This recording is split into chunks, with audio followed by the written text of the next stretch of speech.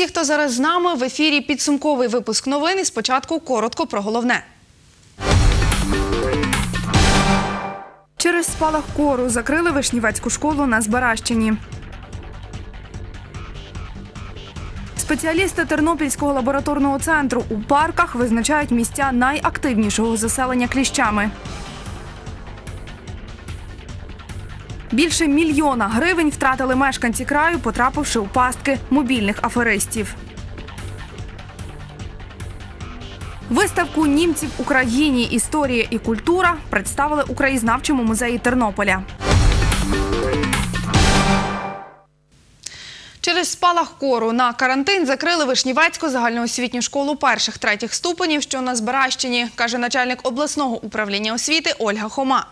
Коли відновлять навчальний процес, невідомо. Станом на сьогодні, за словами головного позаштатного епідеміолога обласного управління охорони здоров'я Марії Павєлєвої, в навчальному закладі захворіли 18 дітей і четверо дорослих. У школі проводять профілактичні заходи. Зазначу, від початку року в області кір виявили у 562 осіб.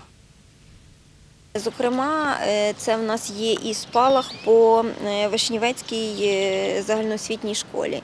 Спалах у нас відкритий з 23 березня і діє він по сьогоднішній день. Останній випадок був зареєстрований. Це у нас е, 12 е, квітня. Є наказ директора е, цієї загальноосвітньої школи про тимчасове призупинення навчання школі. Це з 12 по 18 квітня включно. Це діти не з одного класу, а це діти, які розкидані по цілій школі. Відповідно, медичне спостереження встановлюється за е, учнями цієї школи.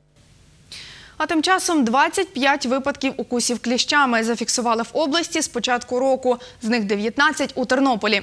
Щоб визначити місця найактивнішого заселення цими небезпечними комахами, спеціалісти Тернопільського лабораторного центру розпочали моніторингові обстеження паркових зон в обласному центрі. Подробиці у сюжеті Анжели Шови.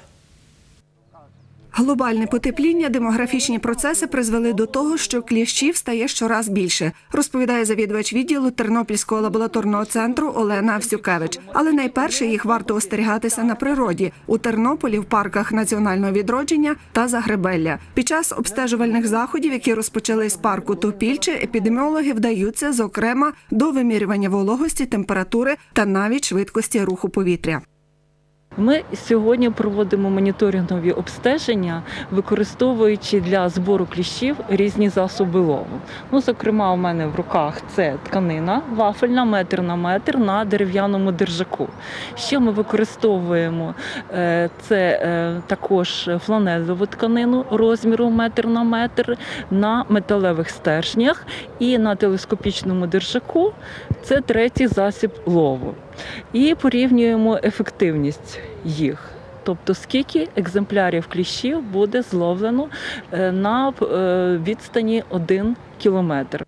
Ігор Савчук демонструє те саме спеціальне біле полотнище волокушку, з допомогою якого і виловлюють кліщів під час моніторингових досліджень. Ми його протягуємо по травянистій поверхні, і відповідно, пройшовши певну кількість кроків, ми зупиняємось і перевіряємо прапор для того, щоб побачити, чи є в нас кліщ. Обрахунок проводиться результату, тобто скільки ми відловили кліщів, це є кліщів на прапор кілометр. Ось такого іксодового кліща знайшли фахівці лабораторного центру, пройшовши буквально 30 метрів. Попри те, що він нібито невеликий, епідеміологи кажуть, що він цілком може бути переносником небезпечних інфекційних недуг.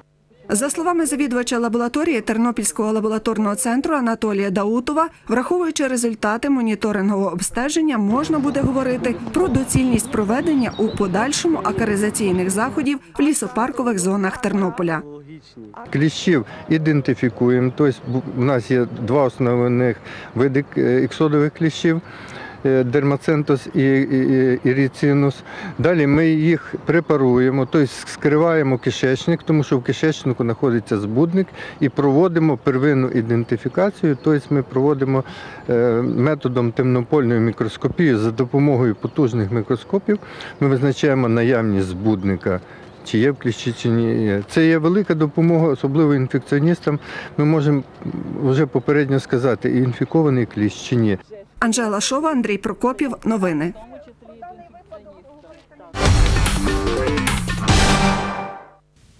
Більше мільйона гривень втратили мешканці краю з початку року, потрапивши у пастки мобільних аферистів. Невідомі телефонують до клієнтів банків, повідомляють про технічні несправності і просять назвати пароль.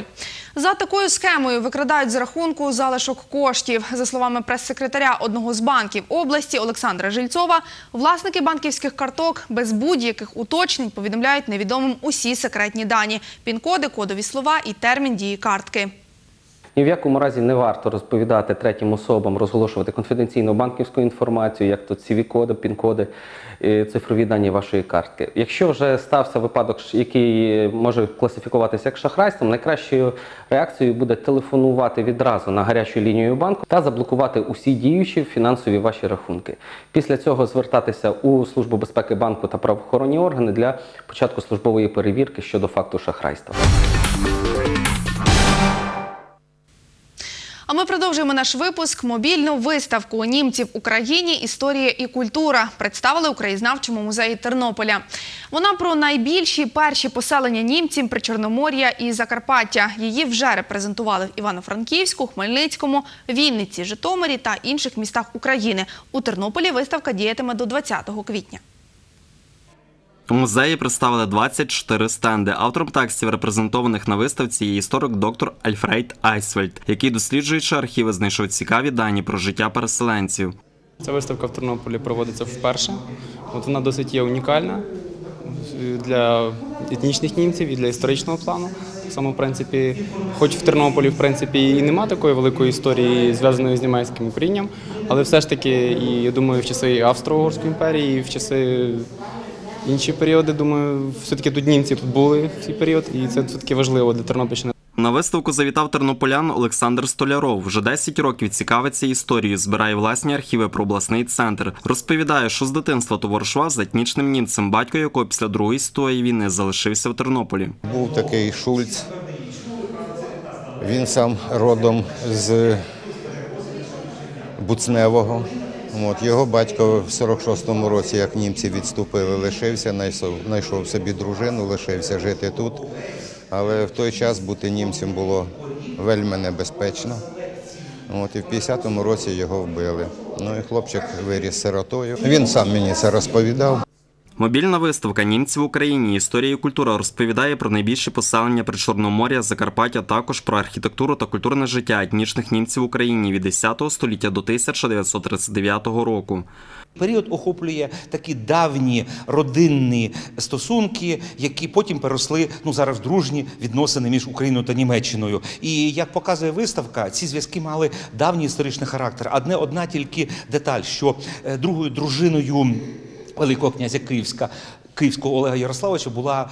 Е, була е, пані Штанденська, яка є е, видатною графинею. Ці зв'язки на сьогоднішній день тільки набувають нового е, окрасу, нового значення і переростають в більш уже міжнаціональні стосунки.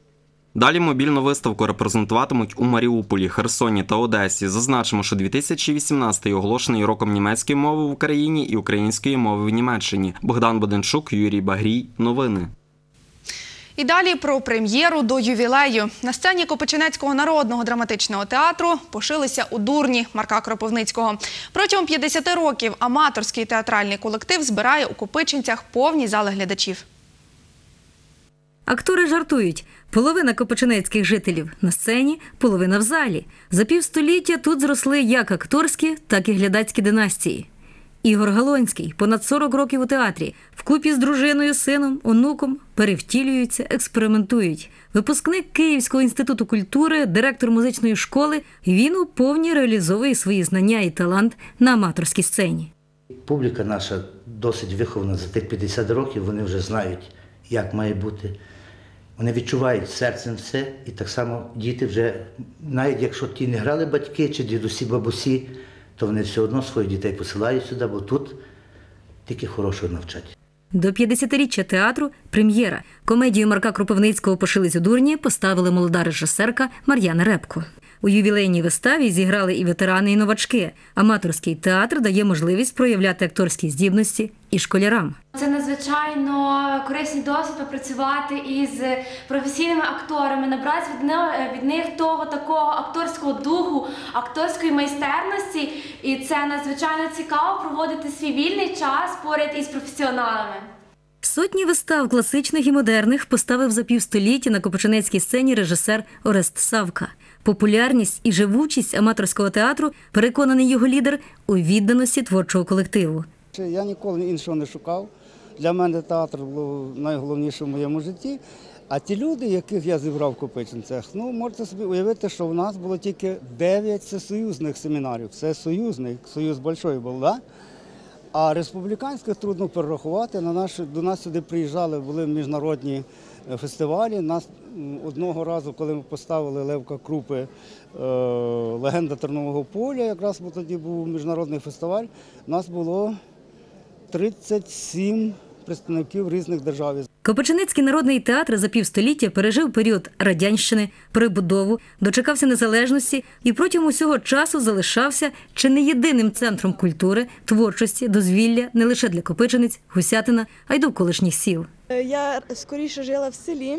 Там можна сказати, ну нема так де вийти. А тут ми любимо дуже театр, і е, чи будь-яка вистава, чи концерт. Як кажуть, е, хочемо просто культурної діяльності. Наші маленькі діти, вони практично з трьох років вони вже в театрі, вони танцюють, декламують.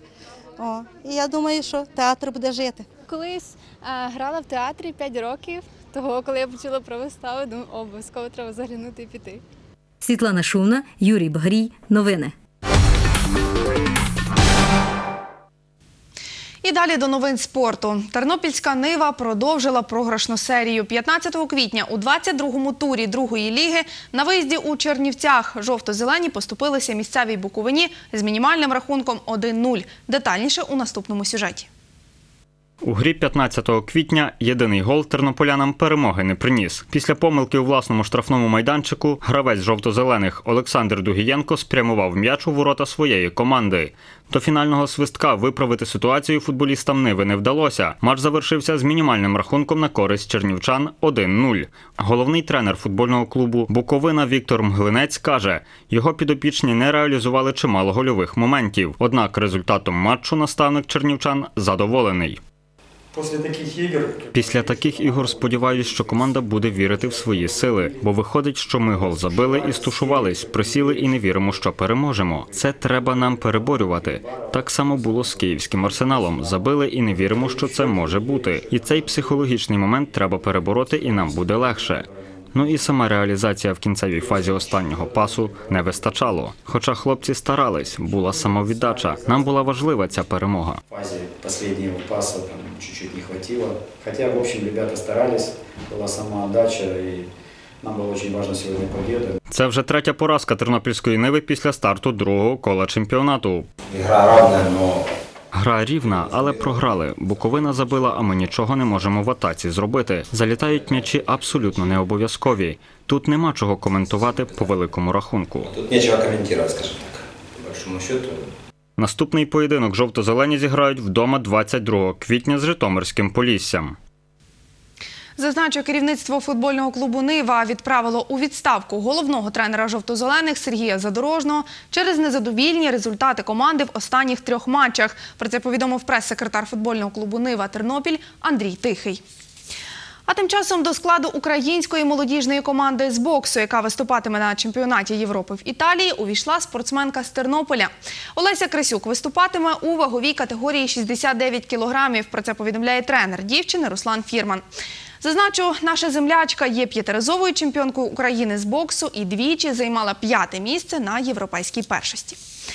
І на сьогодні у мене все. Дякуємо вам за довіру. Мирного вечора усім нам і до зустрічі в ефірі вже завтра.